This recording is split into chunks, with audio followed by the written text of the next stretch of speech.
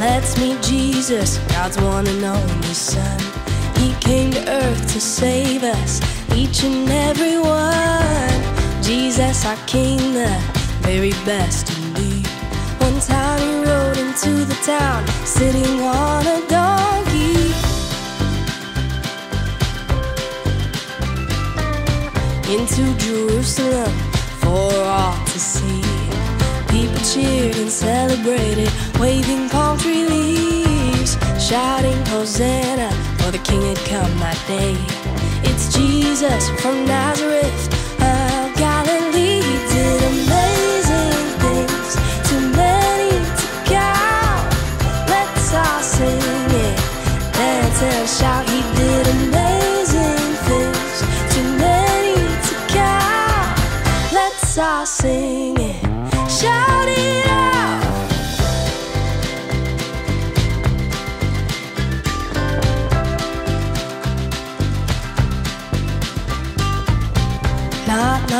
after that, Jesus was crucified. He gave himself up on a cross and then he died. But three days later, he rose from that grave. His tomb is empty and our sins he forgave.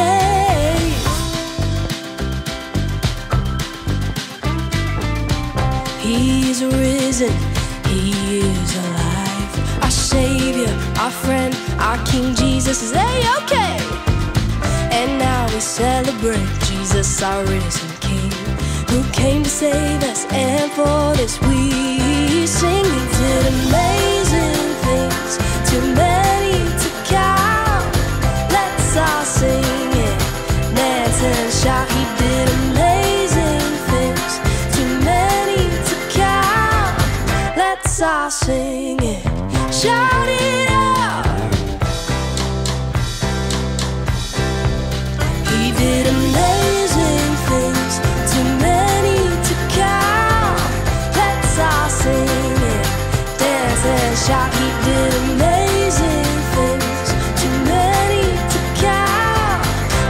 Sing it, shout it.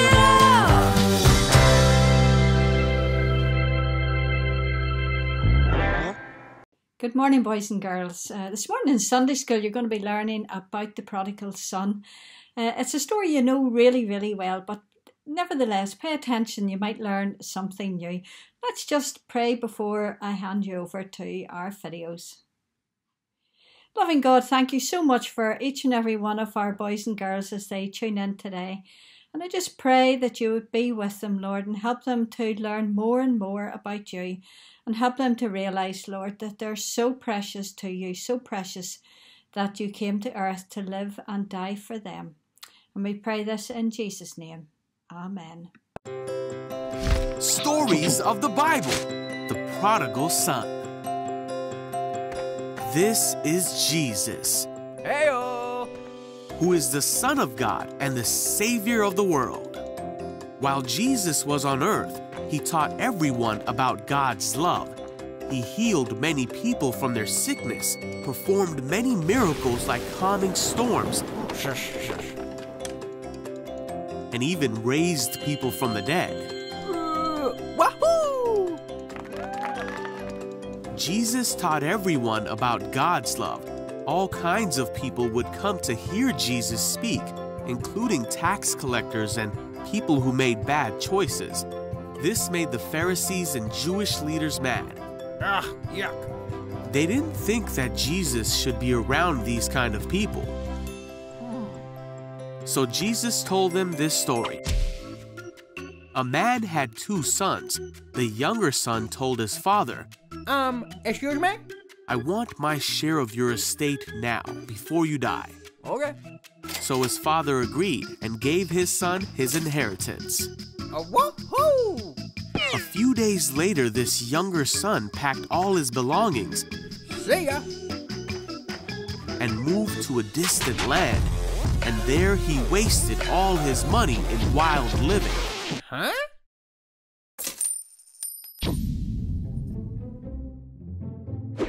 About the time his money ran out, a great famine swept over the land. Aw, man.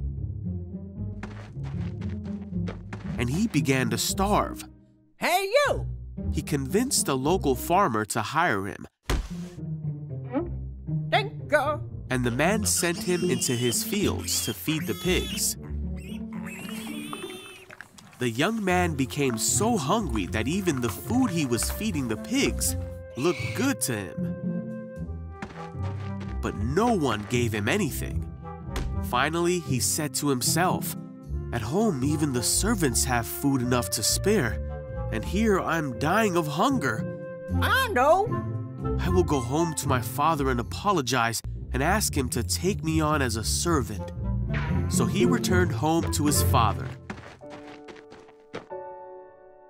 And while he was still a long way off, his father saw him coming. Filled with love and compassion, he ran to his son. Sir! His son said to him, Father, I have sinned against both heaven and you, and I am no longer worthy of being called your son. But his father said to the servants, Quick, bring the finest robe in the house and put it on him. Get a ring for his finger and sandals for his feet, and kill the calf we have been fattening.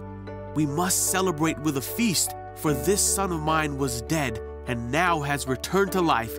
He was lost, but now he is found. So the party began. Yeah, yeah! Meanwhile, the older son was in the fields working. When he returned home, he heard music and dancing in the house, Huh? Hey, you! and he asked one of the servants what was going on. Your brother is back, he was told, and your father has killed the fattened calf.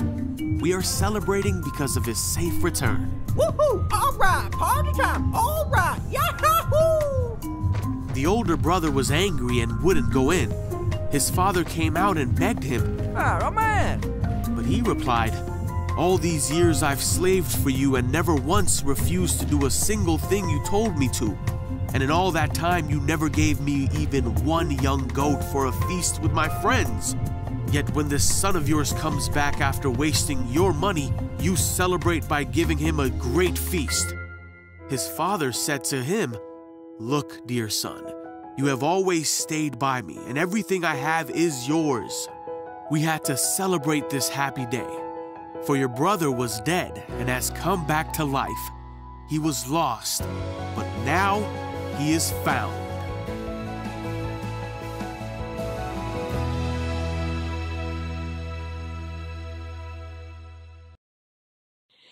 Okay, so hope you enjoyed sitting comfortably because now I'm going to invite you to get on your feet and start practicing our latest Sunday school song, Show Me Your Ways, O Lord. And Sunday school teachers, that goes for you as well. So do enjoy.